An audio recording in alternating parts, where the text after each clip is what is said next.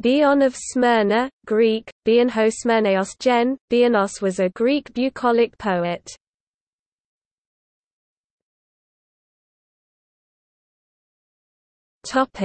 Life He was a native of the city of Smyrna and flourished about 100 BC. Most of his work is lost. There remain 17 fragments preserved in ancient anthologies and the epitaph of Adonis, a mythological poem on the death of Adonis and the lament of Aphrodite preserved in several late medieval manuscripts of bucolic poetry. Some of the fragments show the pastoral themes that were typical of ancient Greek bucolic poetry, while others attest the broader thematic interpretation of the bucolic form that prevailed in the later Hellenistic period. They are often concerned with love, mainly homosexual. Besides Adonis, other myths that appear in his work are those of Hyacinthus and the Cyclops, to judge from references in the epitaph on Bion, which frequently alludes to Bion's work. He also wrote a poem on Orpheus, to which some of the extant fragments may have belonged. The Greek texts of Bion's poems are generally included in the editions of Theocritus. There is no particular reason to think that the epithalamium of Achilles and Deidameia, preserved in bucolic manuscripts and usually included under his name in modern editions, is Bion's work. Bion's influence can be seen in numerous ancient Greek and Latin poets and prose authors, including Virgil and Ovid. His treatment of the myth of Adonis in particular has influenced European and American literature since the Renaissance. Almost nothing is known of Bion's life.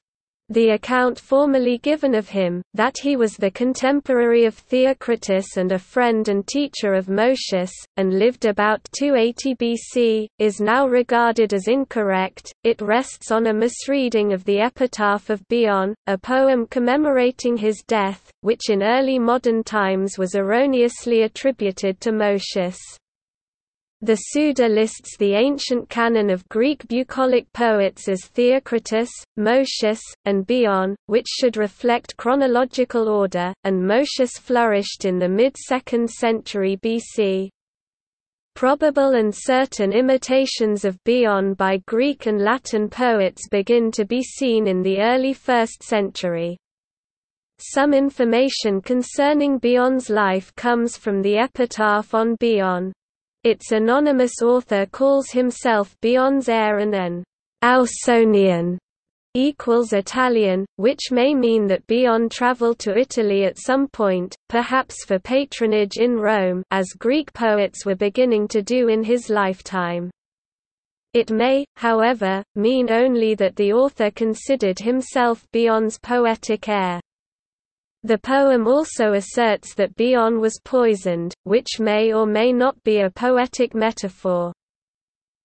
One ancient text gives his place of origin as a little place called Phlossa, which is otherwise unknown. It was presumably a district under the administration of Smyrna, perhaps one of the villages out of which Smyrna was reconstituted during the Hellenistic period.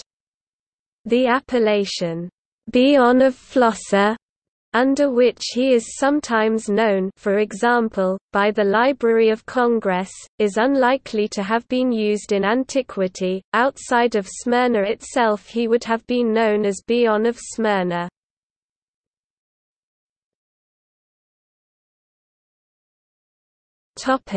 Works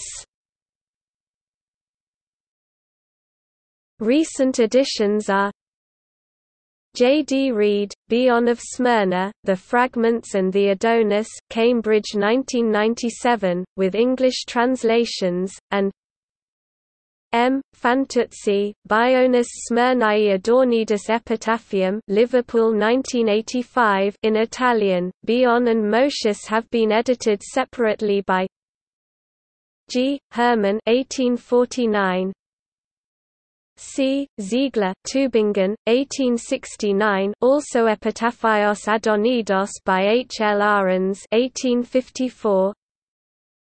E. Hiller in Beiträge zur Textgeschichte der griechischen Bucolica 1888. There are English translations J. Banks 1853 in Bohn's Classical Library Andrew Lang 1889, with Theocritus and Moschus Edition of the text by Ulrich von Wilamowitz Moellendorff in the Oxford Scriptorum Classicorum Bibliotheca 1905.